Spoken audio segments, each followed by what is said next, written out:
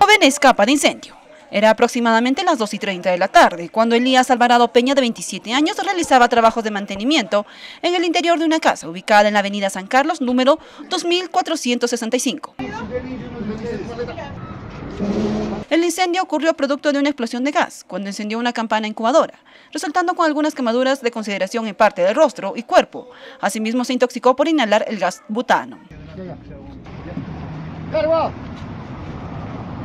Los serenos de Huancayo encontraron a Elías en estado de shock, con el cuerpo desnudo y cubierto con un mantel blanco. Así es, este, al llamado de la Central de Comunicaciones nos hemos dirigido a la avenida San Carlos 2465, donde nos entrevistamos con el joven Elías Alvarado. Eh, al momento de encuentro sentado sobre una silla con un mantel blanco. Al momento de la pregunta, el joven eh, menciona que estaba haciendo unos trabajos y al momento de prender una campana de incubadora eh, no se ha percatado de que estaba un balón de gas, ¿no? Entonces ahí es donde que se ha generado la explosión, motivo por el, cual tenía quemaduras en el cuerpo, en el rostro.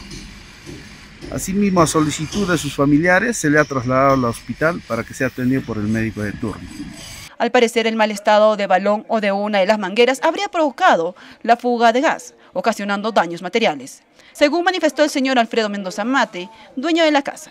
El joven fue trasladado de inmediato al hospital Daniel Alcides Carrión, donde le diagnosticaron quemado con shock hipovolémico.